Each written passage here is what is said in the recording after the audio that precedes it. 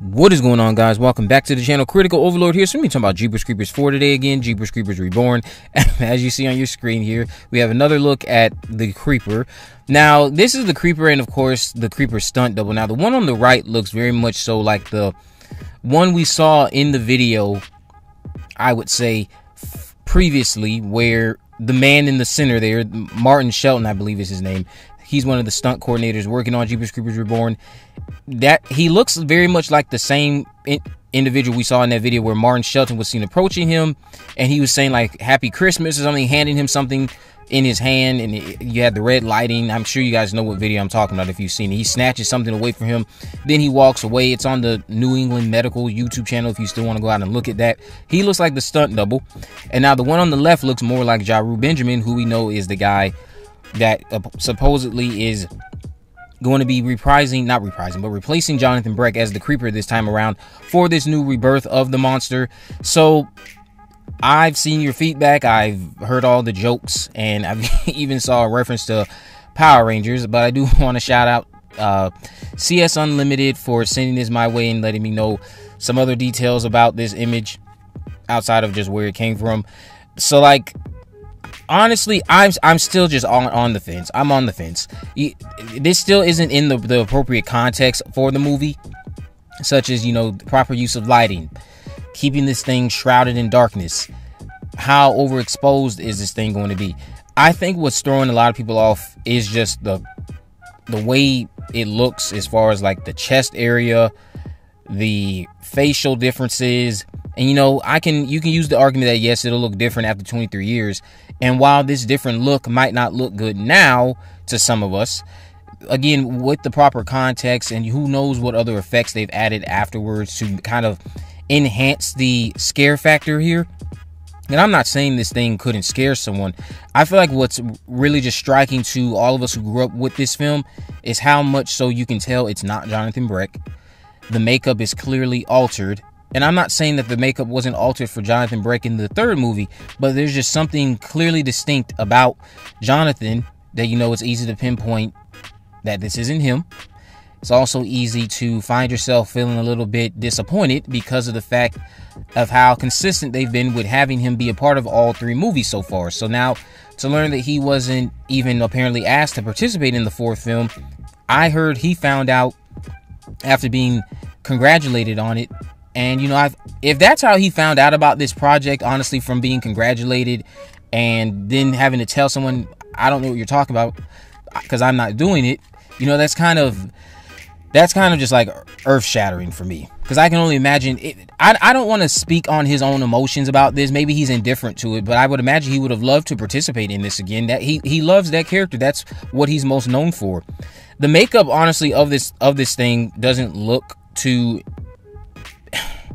I don't want to say it looks awful because again, I haven't seen it in, in the appropriate context. But I'm just I'm just on the fence, and the fact that you again have so many people who are working on the film, leaking stuff, they are going out of their way to put stuff online that apparently they're not supposed to be putting online. I don't know how true any of that is about them not supposed to be putting it online. Because again, if they're not supposed to be putting it online, that should have been nipped in the bud when they were doing it. Especially considering how many people I see working on the film were following these people. But you know, as far as like my thoughts on it, I am indifferent. Also, I'm on the fence. I need to see it in the appropriate context. I need to see how they utilize this new person as the creeper, Jarreau Benjamin. Again, I hope you knock it out of the park. Uh, I don't know what he'll bring to the table. I do remain hopeful that we'll get a brilliant recreation or performance from him in terms of just being menacing, terrifying, and just bringing his own unique spin to the character and being charismatic because we know the creeper has always been a charismatic individual not just someone who looks scary but always something more mysterious to it as far as like how it had this charisma to it. Other than just i'm gonna come out here and i'm gonna kill you it we know it has a sense of humor a whole lot of other stuff that we've seen explored through over the course of this trilogy at this point. So the other thing we need to talk about was the Ep- epsilon sigma iota sorority who seems to be having a giveaway for two people or for some people to win a a special or or win some uh, tickets to go see win two tickets to a spooky movie on October 28th or 29th. Now, if you see here, it says Halloween Kills and Jeepers Creepers Reborn. Now, this sorority, I believe, from what I've looked up, is associated with Howard University School of Law. The Epsilon Sigma Iota sorority is the first sorority dedicated to the advancement of African American women in the legal profession. Uh, I fully support that. but getting back to Jeepers Creepers Reborn, so Jeepers Creepers Reborn is one of the things that they are supposedly giving away. Now, how are they doing that? I don't know. I don't know how that's going to work. But, and what I mean, I don't know how that's going to work. I don't know how they could have intel on this movie coming out 100% on this date, unless, of course, they are going off of the other research that we've all seen online, which says that the movie's coming out on October 28th. That was the Australia date, remember. November 2nd was our date for the States. So when I see this, I'm curious if they have somehow been contacted by the studio who's in agreement with this to help them with this giveaway, or if there's just something that may be catching us all off guard this upcoming Saturday because we still have that big announcement that's coming to find out what is going to happen in terms of that countdown on the 23rd-day.com website. Again, I'm speculating it's going to be the official poster. Some of you think it'll be the trailer with a cast list announcement all of the appropriate things that we should get. Some of us have even gone out of the way to say that, well, maybe they're going to give us all of that in the kitchen sink and announce tickets going on sale for a one night showing next week on October 28th.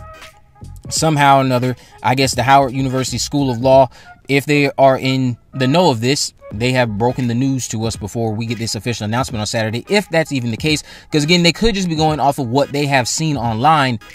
But if they have if they have tickets ready to give away, you know, who knows what we might find out Saturday. Is the movie actually going to be available for certain people to see on October 28th? We'll have to wait and see.